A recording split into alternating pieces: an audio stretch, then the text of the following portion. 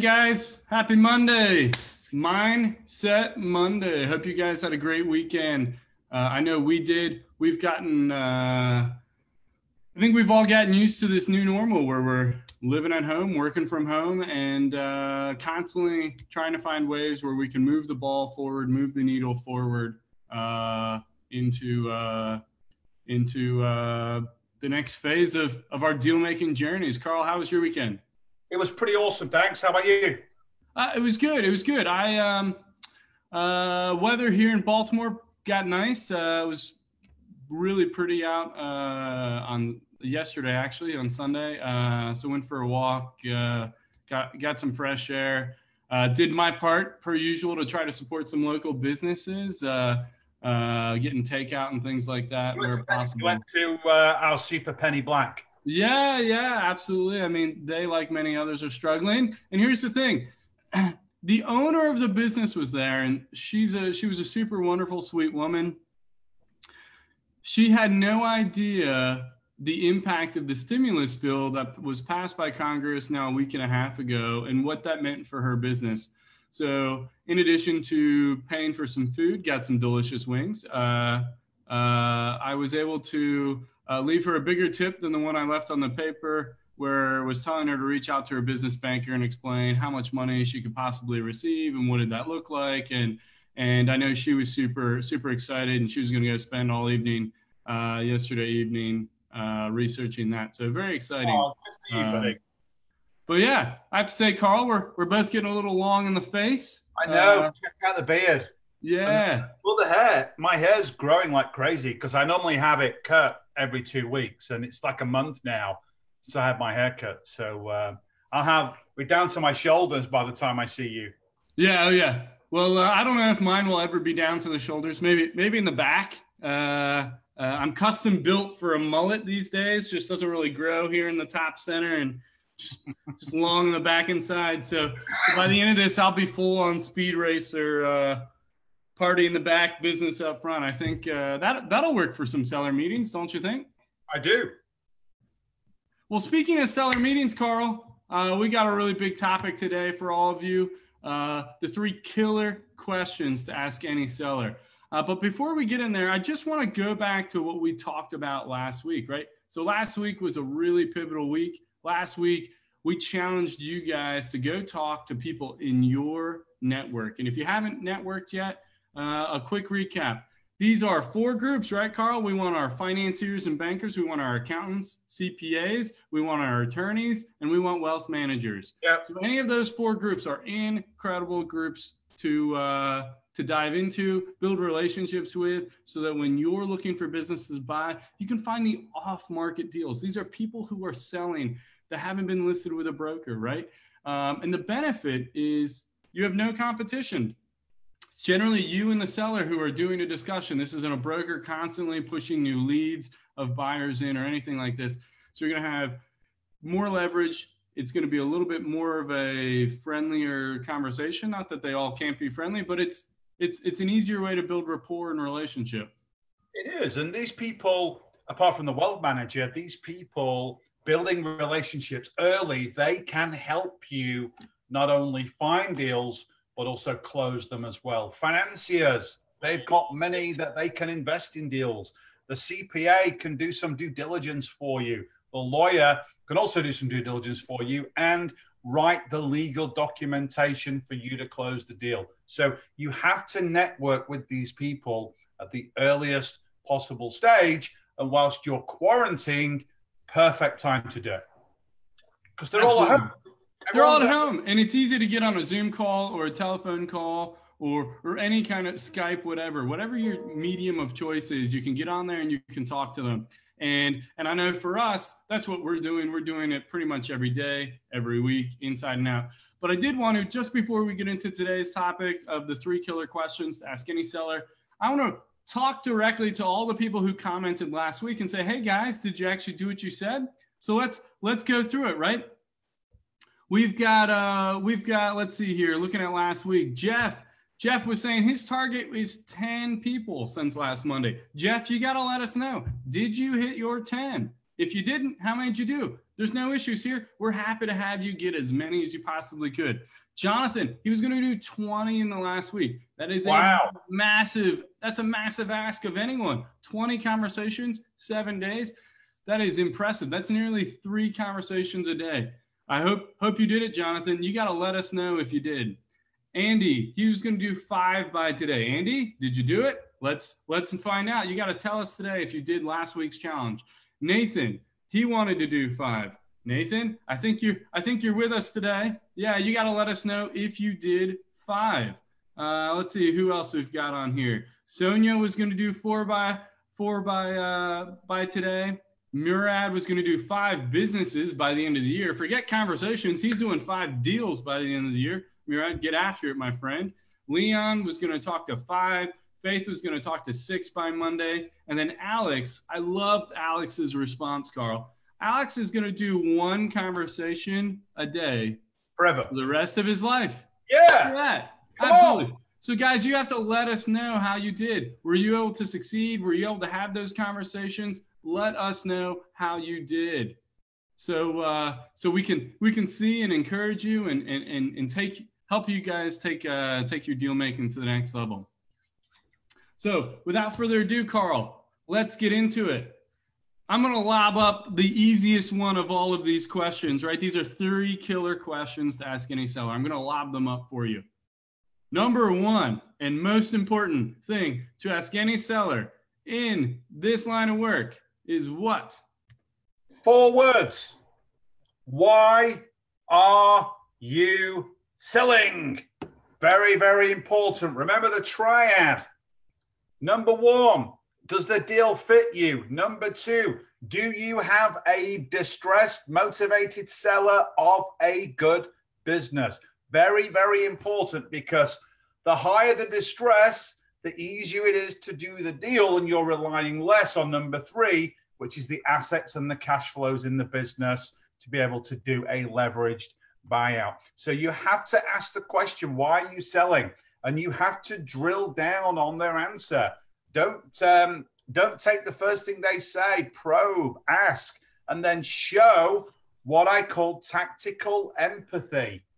So listen three times more than you speak. Really let the seller open up, tell you their story and why they want to sell. And typically, it's going to be one of five reasons. It's going to be that they want to retire as we know, 10,000 baby boomers retiring every single day, and 19% of them own a small business. So that's 1,900 people every single day are retiring and bringing their business to market.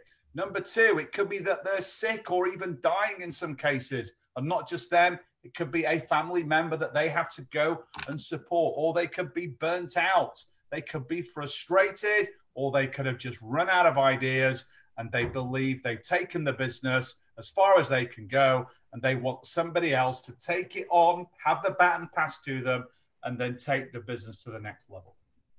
Yeah, absolutely. And in today's world of uncertainty, it becomes even more important to understand the why.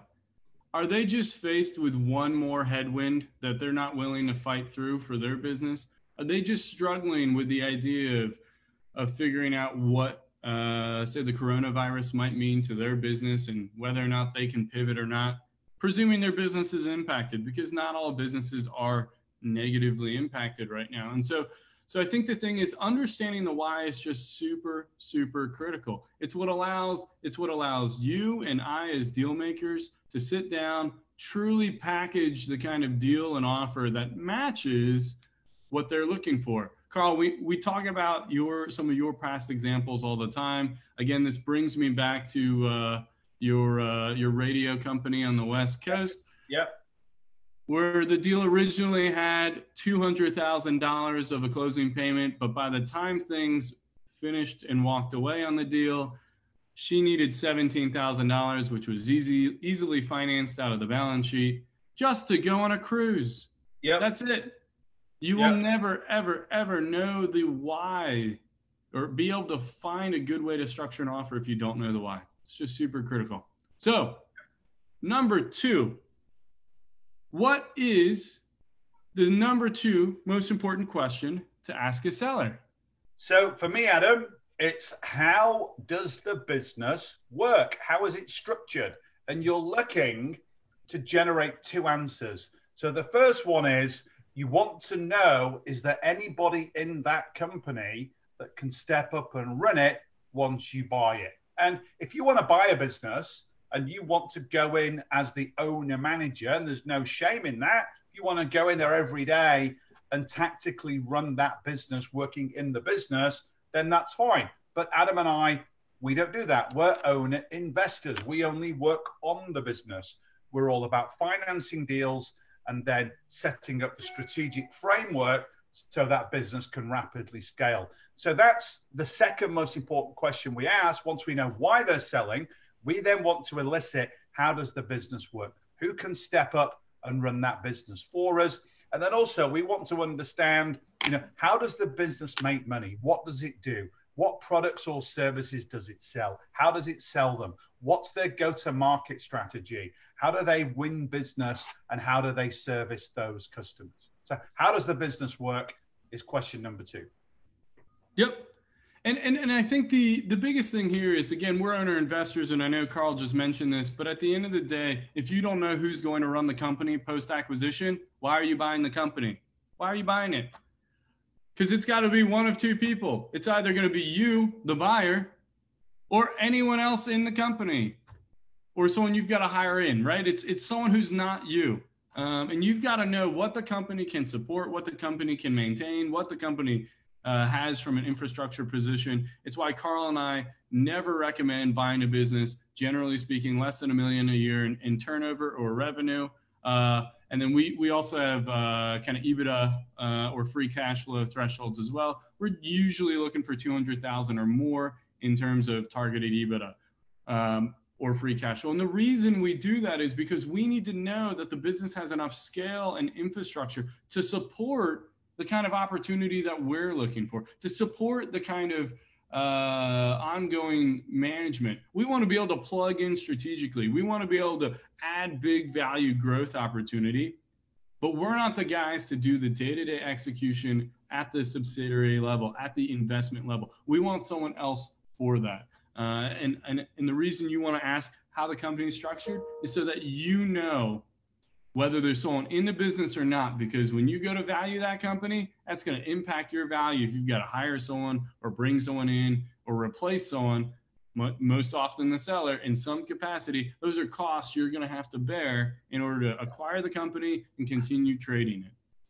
Yeah, and a, a great example of that is let's say you buy a business that's doing 200,000 of EBITDA and the seller takes $10,000 in salary and then takes the rest of his money below the line in dividends, and you've got to hire somebody at $100,000 to come in and run that business, then you've got to take $90,000 off the profitability because you now don't have a $200,000 business. You have a $110,000 business because you're going to have to pay for somebody on salary to come in and run that business for you. Yeah, and, and in that case, if you're going from 200,000 uh, worth of EBITDA per year to 110, and using simple math, you're playing a three times multiple. That company went from being worth potentially $600,000 a year to $330,000 a year. That's a $270,000 difference when you're going to acquire the company. That's almost half, right? And so when you think about that, understanding how the company is structured and how that infrastructure will work with you as the new owner is super critical. And so when you think about it, when you're talking about the number two most important question to ask a seller, that's it. You've got to know how the business will run and who's going to run it. All right, Carl, we're here at the third question. Also, equally as important, in my opinion, as the one we just covered, which is how's the company structured, because this is the one that's going to put dollars into your pockets or pounds if you're in the UK. But what is it, Carl? What is the third killer question to ask any seller? So, third killer question to ask any seller, and I always laugh when I get the answers, is how do you win new business? And I have lost count the number of times a seller has said to me, So, Carl, this is what's great about my business.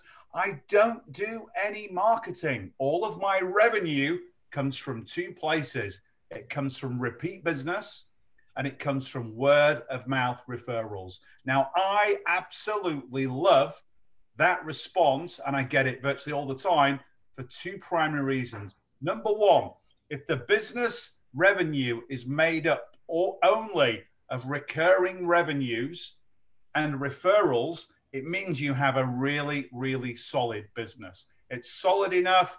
The reputation, the quality, the service model of that business is so strong customers are returning time and time again. And they're raving fans. They're telling their friends, they're telling other people that they know to go and do business with this company.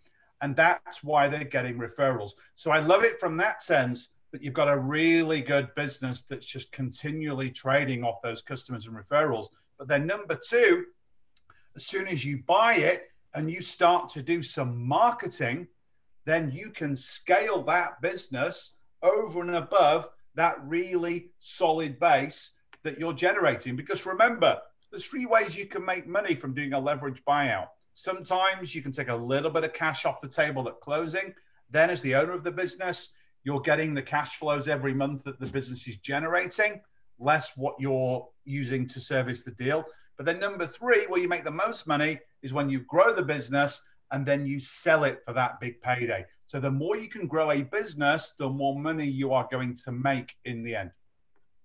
Yeah, absolutely. And and and I asked I asked almost the exact same question, uh, and then for me, I, I think slightly broader than than you know how are you winning more business. To me, it's it's how do you make money because making money to me is more than just winning new business there's a level of expertise that comes into it say you're working with a contractor who's bidding jobs it's not just understanding where the jobs come into the pipeline to be bid upon but who's actually doing the bidding because that person is the person who ultimately has a really big lever on profitability for a company like that.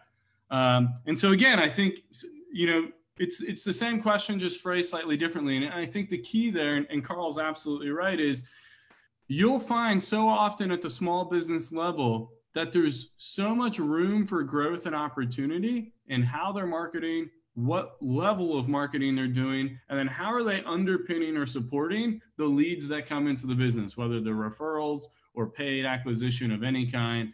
Uh, I think there's just so much opportunity there, and we see it on a highly regular basis. Just really strong companies that are doing hardly any marketing. Instead of a day of marketing, what if we get crazy and do five days a year? Or really crazy and do 10 days a year? And so I think the idea there is that by asking this question, you really ascertain what is the true baseline or benchmark for the company. And if they're doing very little marketing, you're 100% at it which means you generally have a lot more room for upside than you would if someone's got a fully built marketing and customer acquisition program. And what does that look like instead? I know, absolutely, Adam. And I'm, I'm looking at a business right now in the UK. It's a manufacturing company. And the, the, the seller's like pretty miserable because he makes components for performance motor, motorbikes. So it's like an auto sport type business. And obviously, a lot of the motorbike manufacturers are kind of slowing down because of coronavirus. And he just does not want to pivot at all into the manufacturing supply chains for medical devices. So he's chilled up ready. He can 10x his business by stopping making components for motorbikes and instead making components for medical devices which that sector is booming right now as hospitals and governments start to tool up um, ready for the peak of the coronavirus uh, pandemic. So that, that it, it's not just growing by doing more of what you do. There are also ways you can diversify, especially right now. Yeah, absolutely. Again, I think uh, the creativity of a of a business owner should know no bounds, right? if you're a good operator, uh, it's it's not about getting distracted by new ideas, but it's understanding and having that that gut instinct as to what is the right move at the right time. Uh, you don't want shiny object syndrome as a business owner. That is absolutely the worst case. Uh, but when you've got macro level conditions like we're seeing now, uh, you've got to be able to pivot and be dynamic with your business in order to assure success uh, moving forward. So I just think that's really, really, really key. So, um, you know, we've just got a few more minutes left. Again, these are the three killer questions to ask any seller. Uh, Carl, we'll just recap, recap them real quick. First and foremost is why are you selling? It's the the four words you can never not ask. If you don't ask this, you will never be a deal maker. Period. Absolutely agree. Uh, second question is what is the structure of your company? How does it operate? Who really runs the company? Um, and this is important because we as owner investors don't want to become people who buy a business and then have a job running the business. We want a GM or a, managing director or someone in the business to actually handle the day to day. The third question is how does the business make money? How are they marketing? How are they closing new business? Is it all referrals? Are they going to conferences and events? Are they doing some kind of paid acquisition? What are they doing to actually bring in new customers into the business? And then beyond that, what are they doing with the customers? How do they bid? How do they how do they close the deals? Because in most cases, that is the linchpin of success for for, for a post transition uh, you know acquisition where you've got to make sure you understand what's happening there so those are the three killer questions yeah. um, and uh, you know we had a challenge last week where we asked people uh, and i know some people had some results uh, nathan last week told us i think he wanted to do five he's then posted in the comments carl he did seven this week so not only did he hit his goal but he exceeded it absolutely crush it. So Nathan, we're going to give you the direct shout out here. Congrats to you, my friend, uh, and, and, nice work. So everyone, keep on doing that. For this coming work, or work this coming week, uh, we've got a new challenge for you. So right now, we talked about last week. We talked about having networking conversations, conversations with people who who can help you identify opportunities. Well, this week we've talked about the three killer questions that you can ask a seller. so between them. now and next Monday, we want you to go ask these questions. We've yeah. just given you the framework. So the minimum expectation for us is how many sellers can you go talk to? Is it one? Is it two? Is it three? How many can you go talk to? Carl just put up 10. uh, but the idea is how many between today, Monday, and next Monday can you get on the phone? Can you build a relationship with? And can you ask, why are they selling? Above any other question, that is the most important by a wide margin. So, how many people can you ask? How many sellers can you begin to build a relationship with and understand why they're selling the business? So, that's the challenge, guys leave a comment below if and when you talk to a seller. Come back to this. We want to know. We want to be able to call you out for your success. Uh, so we'll see you next week. Again, for people who haven't started their deal making journey, and I know not everyone has, and we're giving out a lot of information here, we want to give you one more thing, and that is our business buying blueprint where, where Carl will walk you through the 10 steps to buying a business absolutely free. You'll find it in the comments uh, below. Um, but we want to hear from you guys. Are you talking to sellers? And have you been able to ask them the three questions we've just discussed? Questions that will unlock the opportunity for deal making for you. If you've liked this and you want to keep watching, make sure to like the video, share it with your friends. We're going to be doing these uh, on Mondays, 11 a.m. Eastern, 4 p.m. Uh, GMT. And we're looking forward to working through other kind of mindset things to really get you started on your week of deal making. We want you guys to be successful, and it's just super critical that we're able to plug in with you.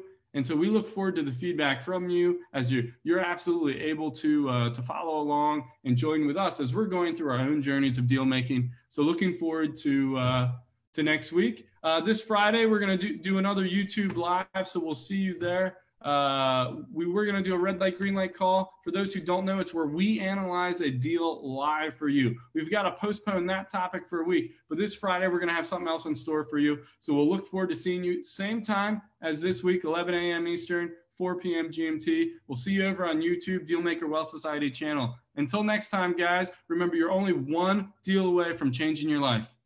Keep cranking, guys. We'll see you soon. Until then, bye for now.